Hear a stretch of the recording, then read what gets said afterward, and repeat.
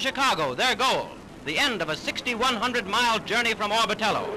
The Air Armada formed a beautiful picture as it soared over the World's Fair, with all Chicago cheering the visitors. A welcome that climaxed them all was given to General Balbo and his men.